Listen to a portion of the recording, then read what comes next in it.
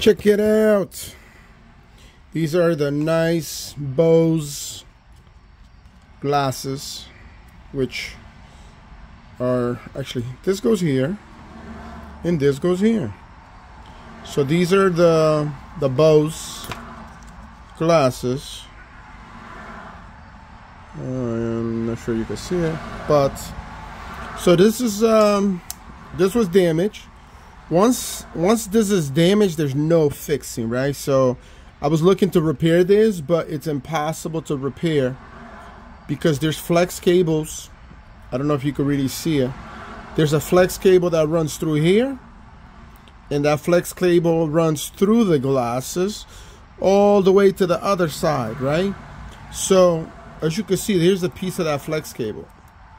So this this here belonged to someone and they were they somehow they broke one side and the flex cable got destroyed. And once it's destroyed that's it.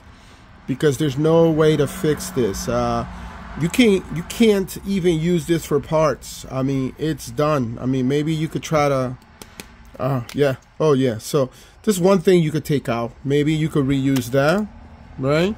But otherwise nothing else. I mean there's no way to break this apart and, and fix the flex cable. There's no way to solder that. It's so tiny and little. When it's done, it's done. So this $100, $200 gadget becomes garbage. But I wanted to show you guys what's on the inside. So on this side, you have the little speaker. And then you have the battery.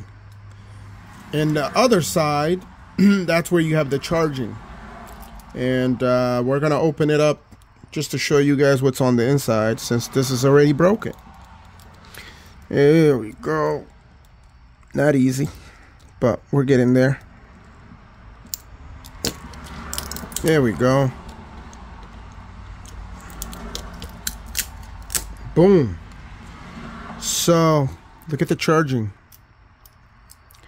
Literally those things just touches the board and look at that connector right there.